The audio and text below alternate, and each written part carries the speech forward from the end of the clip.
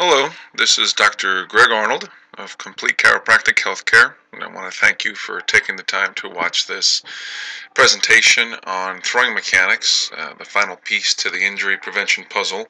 This is something I thought uh, would be a good collaboration between uh, myself as a chiropractor and a baseball pitching coach, and orthopedic surgeons in the area, and also physical therapists in the area. Quick uh, introduction on my background. I'm originally from Long Island. I graduated high school in 1995. I was uh, obtained a baseball scholarship to Penn State University. Eventually got my uh, Doctor of Chiropractic degree in 2004. Practiced for uh, seven years in California, six, six of those years working with Little Leagues. Um, certified as a strength and conditioning coach uh, by the National Strength and Conditioning Association, certified by the National Pitching Association since 2004, and I frequently attend uh, the ASMI Injuries Conference in uh, Alabama, and finally also write nutrition articles for a nutrition company. So today's presentation, we're going to discuss the current state of arm injuries in baseball pitchers, uh, but most importantly, we're going to talk about how to use video uh, post-surgery or even if there's no surgery required, uh, just as a measure of education for proper mechanics for the baseball players, and also to discuss the value of muscle testing, internal versus external uh, rotational strength in the shoulder as a marker of possible injury risk. So, uh, a great quote uh, was given by Peter Gammons when he was interviewed a couple weeks ago, a couple months ago, actually, uh, on a sports radio talk show, where they're really starting to put the blame for these Major League Baseball injuries as what's going on during the teenage years with these kids. And the number one risk factor for injury is year round baseball. And the the deluge of uh, radar guns at showcases and year-round baseball and playing on multiple teams, things like that. So that was a great quote. Was I think it starts with these traveling teams when they're 15 years old, they're going to showcases and over pitching, and finally a lot of the injuries in the major leagues are coming from what they do between the ages of 12 and 21. Uh, ASMI uh, position statement for youth baseball pitchers what's good about it is the need to get these kids to rest, preferably uh, four months out of the year, but usually about two to three months. So no more 100 innings in a, in a year has been looked at as the benchmark for injury risk. Uh, but also, if you look at number six, learning good throwing mechanics, and that's something that we're going to talk about in this presentation. Uh, Dr. James Andrews, at one of his presentations at the ASMI conference, to kind of sum up uh, the day of the presentation. So he gives a list of things that we can talk about with young throwers, but uh, number 11, the best way to treat the injury is to prevent it. And his second second method of uh, uh, injury prevention is, is biomechanics, even more so than strength and conditioning, but just learning how to properly throw the baseball.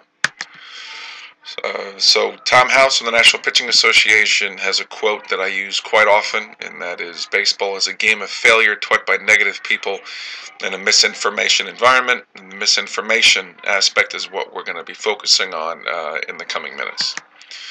So we talk about surgery and then rehab or no surgery but rehab to identify muscle weaknesses and uh, regain proper proprioception, balance. But what can we do after that that can further add to the uh, minimization of re-injury? And this is where we're going to talk about baseball uh, video, uh, video analysis. And Kevin Wilk at the 2014 ASMI Injuries Conference uh, that I attended. This is a quote that he said during one of his presentations Baseball mechanics analysis is imperative. If you wait too long to get an analysis done, you're asking for trouble. And Dr. Glenn Fleisig, uh, the head biomechanist at ASMI, is talking about how uh, video analysis is being done proactively to uh, get a snapshot of players' mechanics when they're healthy and not when they get injured. So let's go ahead and take a look at uh, a video analysis. So we look at this young player. This is I chose this video because it really, this young player's mechanics are what I most commonly see uh, among young pitchers. So we'll take a look uh, a couple times here.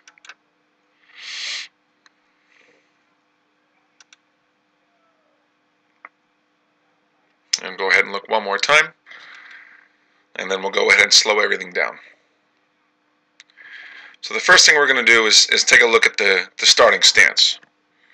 If we see where the kids come together, you know, we teach kids athletic maneuvers in other sports, lacrosse, soccer, basketball, wrestling, and we talk about feet apart, knees bent, and yet we're teaching these kids the concept of actually putting the feet together and standing tall. And this is actually making a much less athletic player to the point that when they start to move, their whole body gets to here.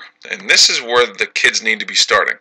If you see how much the head drops right here, this is actually causing uh, a postural change and can increase the risk of making an error during the throw.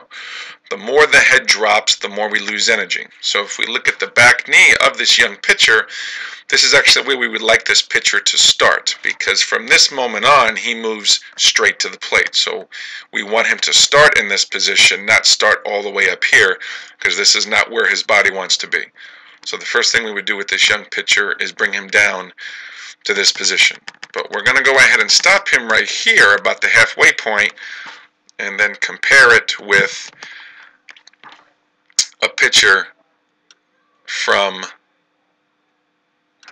another video.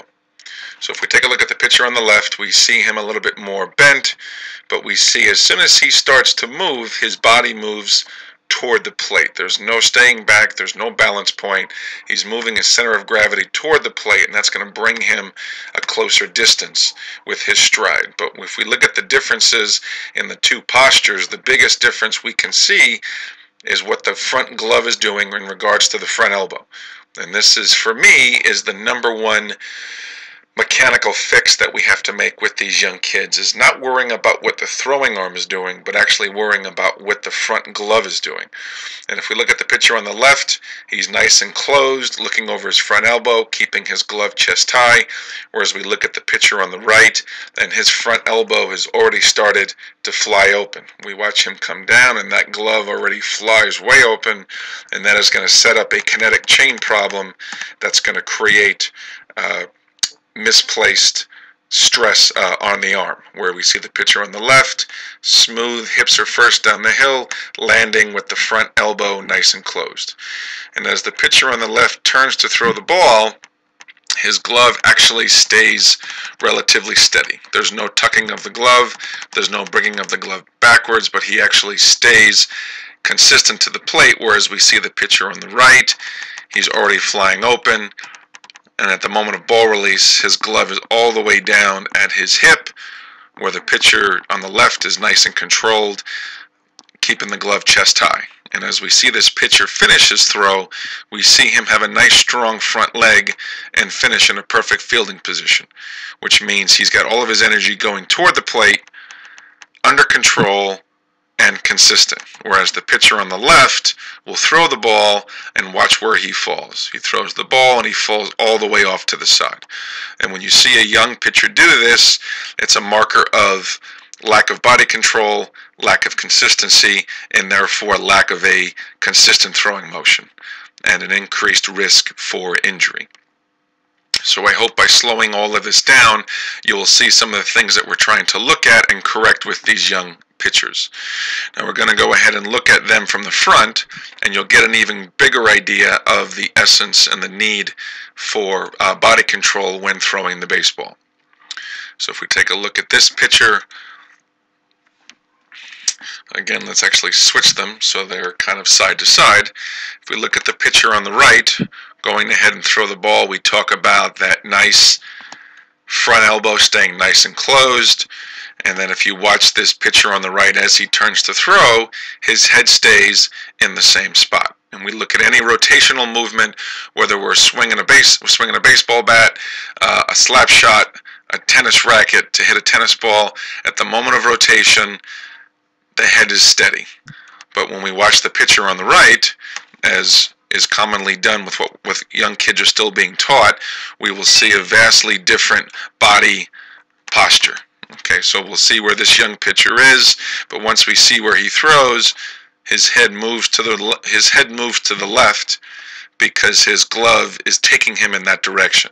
And you look at this, what we call, we look at this late posture change, and this creates a very, very bad, uh, inconsistent release and just increased risk of injury over the course of this young player's career as compared to the pitcher on the right coming down the hill nice and steady head rotation steady glove glove is under control, finishing in a good position versus this young pitcher falling off to the side. So you see there's a lot that we can show with this slow motion analysis, uh, but we also identify many things that need to be done in young pitchers that will help minimize injury risk.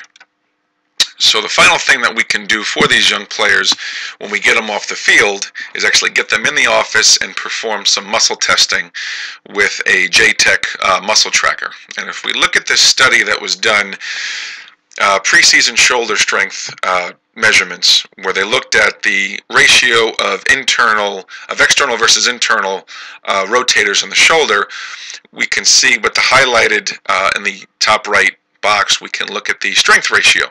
And when they noticed that pitchers who had the highest injury risk rates uh, had a 0.724 um, ratio in the shoulder, meaning that the external rotators in the shoulder were nearly 28% weaker than the uh, internal rotators, where the, the pitchers who had the lowest injury rates uh, among all the pitchers had much stronger external rotators. And this is something that we can objectively do in the office uh, to identify kids who, even though they have no shoulder pain now, they may be setting the table for injury uh, years down the road. And this was a great conclusion by the researchers, weakness or poor coordination of the external rotators can also lead to a lack of muscular control during late cocking and, deceleration, which may in turn predispose pitchers to shoulder injury.